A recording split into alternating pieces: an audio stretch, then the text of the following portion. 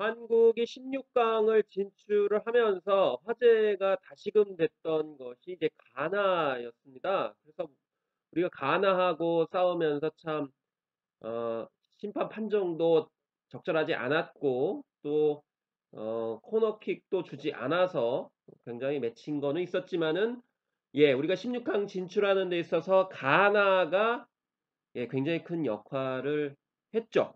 예. 그런 점을 하나의 스토리를 보면서 이제 말씀을 드리려고 하는데요. 가나 초콜릿이 굉장히 많이 나갔습니다. 실제로 통계 자료를 통해서 이제 보여졌는데요. 그래서 가나 초콜릿이 많이 나갔다라는 점, 이 점은 우리가 어, 생각해 봐야 되는데 어, 제 주변에는 가나 초콜릿이 많이 나간 게 무슨 이유인지 모르시는 분이 있더라고요. 혹시나 모르시는 분을 위해서 이 어, 내용을 포함을 시킨 것이기 때문에 이해를 바랍니다.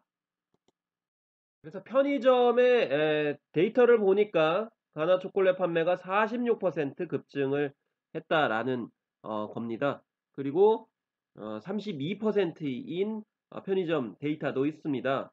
어, 주로 광화문 광장을 중심으로 해서 뭐 많이 늘어났다 이렇게 얘기를 하는데 어쨌든 축구 경기를 보신 분일수록 가나 초콜릿을 많이 사셨다라는 거고요. 그래서 실제로 가나산이라고 표시가 돼 있다는 점을 우리가 알 수가 있죠. 그런데 에, 한국 축구 대표팀이 포르투갈을 꺾고 12년 만에 어, 월드컵에 16강에 진출한 데에는 가나가 조력차 역할을 했다라는 점, 이 점을 우리가 이제 살펴봐야 되는데요. 왜 그러면 가나가 톡톡한 역할을 했느냐? 여기에는 나름대로 얽혀진 스토리가 있기 때문입니다. 사실상 16강 진출 가능성이 없었지만은 가나는 끈질기게 우루과이를 물고 늘어졌습니다. 예. 우리가 8분 동안 굉장히 땀을 어, 손에 쥐고 지켜봤었는데요. 그래서 가나가 혹시나 제대로 수비를 안 해가지고 추가 어, 실점을 하게 되면은 우루과이가 16강에 진출할 수 있기 때문에 제발 막아달라 이렇게 했는데 어, 가나는 가나 나름대로 막을 수밖에 없는 그런 사연이 있었죠. 심지어 오토와도 가나 감독은 종료 1분을 남겨두고 선수를 교체하기까지 했습니다. 이른바 시간 끌기였죠. 결국 가나가 우루과이에게 0대2로 패배한 어, 때문에 한국은 16강 진출을 위한 마지막 경우의 수를 완성할 수가 아, 있었던 것이었죠. 가나와 우루과이의 악연 때문입니다. 지난 2010 남아프리카 공화국 월드컵 8강전으로 거슬러 올라가게 되는데요. 이때 경기 후반 교체돼 한국의 역전 소식을 듣고 벤치에서 울먹거리던 루이스 수아레스가 그 장본인이자 시작이었다라는 어, 것입니다. 2010 남아프리카 공화국 월드컵 8강전에서 이 가나는 수아레스의 신의 손 사건으로 인해서 탈락하게 됩니다. 예, 당시 가나와 우르가이는 1대1 동점으로 연장전에 돌입을 했고요. 연장전 막바지에 가나 도미니카 아, 아디이아가 시도한 헤더가 골문 안으로 향했습니다. 이 골이 들어갔다면 가나는 4강 진출이 유력했습니다. 그런데 수아레스는 이 볼을 고의로 어, 손을 사용해 쳐냈던 것이죠. 사실 깜짝 놀랄 만한 엄청난 반칙 행위를 예, 어, 스스로 했던 수아레스였습니다. 수아레스는 이 핸드볼 파울로 페널티킥을 내주고 바로 퇴장을 당했습니다. 예, 맞습니다. 페널티킥을 차야 되는 가나였고 키커로 나선 아사모와 기안이 페널티킥을 찼는데 그만 실축을 하게 됩니다. 안 들어갔던 거죠. 결국 승부차기까지 갔고요. 우루과이가 4대2로 앞서서 4강에 오르게 됐던 가나 입장에서는 정말 뼈아픈 지우고 싶은 되돌아가고 싶은 그런 장면 이었습니다. 이 수아레스 행동은 가나뿐 아니라 많은 축구팬에게 비난을 받았고요. 우루과이는 결국 4강에 진출하게 됐던 것이고 이때 4강에 진출한 때문에 가나는 수아레스에 대해서 원한을 갖게 되는 상황이고 이번 카타르 월드컵에서 예, 이 날이 오기만을 기다렸을지도 모릅니다. 4강 진출이 좌절된 가나는 12년 뒤 우루과이와 같은 조에 묶인 직후부터 복수를 다짐했다는 건데요. 나나 아쿠포아도 가나 대통령은 우리는 우루과이에 대한 복수를 12년 동안 기다려왔다. 이번에는 수아레스의 손이 가나를 방해하지 못할 것으로 확신한다. 라고까지 대통령이 나서서 말하기도 했습니다. 사실 가나의 복수심에 불을 지핀 것은요. 정작 수아레스 본인이었고요. 네, 바로 카타르 어, 월드컵 어, 기자회견에서 불을 질렀습니다. 가나전을 앞두고 열린 공식 기자회견에서 수아레스는 질문을 하나 받는데요. 바로 12년 전이 손으로 쳐낸 사건에 대해서 사과할 생각이 없느냐라고 질문을 받게 됩니다. 자, 질문을 받았을 때 수아레스가 어떻게 대답을 했죠? 과연 인정을 했을까요? 인정하지 않았죠. 내가 아니라 가나 선수가 페널티킥을 실축한 것이다 라면서 상대 선수를 다치게 했다면 사과해야 된다. 하지만 핸드볼 반칙 때문에 퇴장 당했고 상대 선수가 페널티킥을 실축한 만큼 내가 사과할 일은 아니다. 이렇게 언급을 했습니다. 그러면서 수아레스는 가나 사람들이 실제 복수를 원하는지 모르겠다. 지난 월, 러시아 월드컵 때는 우루과이가 포르투갈을 꺾었다. 포르투갈 사람들이 복수하겠다고 하는 걸 들어보지 못했다라고 덧붙였습니다. 사실 이 발언은 굉장히 분노할 만하죠. 사과를 하지 않는 것뿐만 아니라 우루과이가 포르투갈을 이긴 것에 대해서 합리화하는 점을 보였었는데요. 네.